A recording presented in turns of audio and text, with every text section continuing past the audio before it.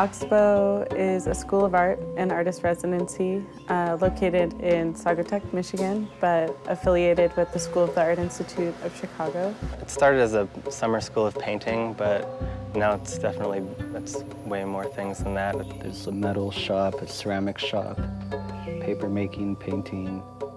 The relationship with teachers and really, like visiting artists, it's a lot less formal. Like you'll You'll see them around, you'll say hi to them, like you'll eat with them.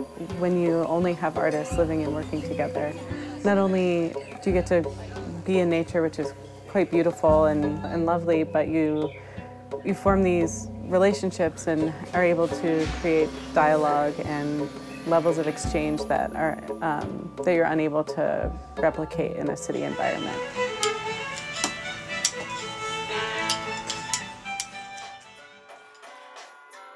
We're also on 115 acres, so work doesn't have to stay in the studio. Work can be floated on the lagoon. It can be installed in the woods. It can, uh, it can kind of go anywhere. Art can be fun. Art can be about experimentation and can still be groundbreaking and interesting, even if you're just, you know, sewing things to trees or exposing your screens in sunlight.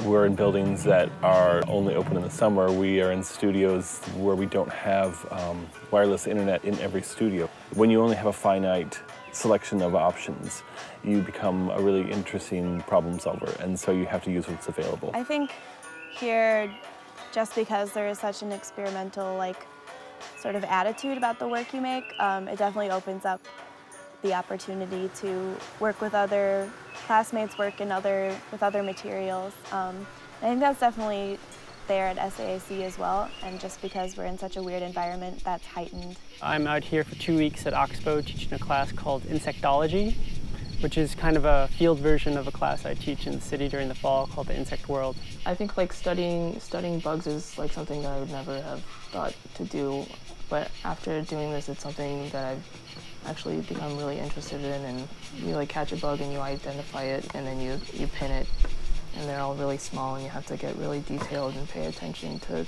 your hands. I think the connection for science and art is that you don't know what you're going to get out of it. Sort of, you're, you're open to experience, and it's without expectation on some level that you go about collecting things. And their relevance becomes manifest as all of the pieces come together, right? So it's sort of an emergent property um, things that make the most sense have to make sense sort of in their own making. And what you're doing as an artist or scientist is setting up the situation that allows for that to happen. So we're an artist-run organization. Um, almost all the staff members have active studio practices. It really is a fully immersive artist community. And um, every aspect of daily life is um, infused with a certain level of this creative spirit and energy. Uh, as you can see, the all the chairs in the, in the inn have been painted. That that's a nice tradition that's been going on for years. I think one thing that's really interesting to me about Ox-Bow is its long history, and so because people have been making art and engaged with this landscape for you know something like hundred years, um, you see the traces of what people have made in their own histories everywhere. Yeah, it's pretty interesting to think about. Like you come here and you're automatically connected into this history of people that also come here and respond to the environment and like maybe are painting the same lagoon that you're looking at? Just because it's cool to see that um, people before you sort of contributed to how this place, how you experience this place, how it looks, um, the way that it's run. Um, and I think my own personal history of my parents getting married here too um, is kind of fun thing for me just because I know that this place is really, really important to my parents and that they feel really attached to it.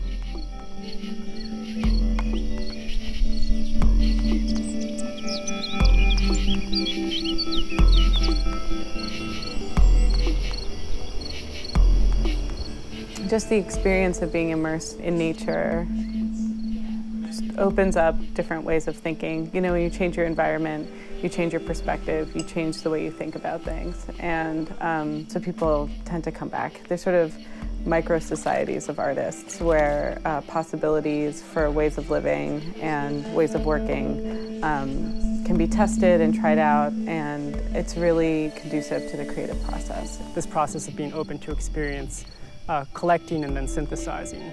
Um, but you know, with some plan in mind, but also just hoping that you can uh, allow these emergent opportunities to take place.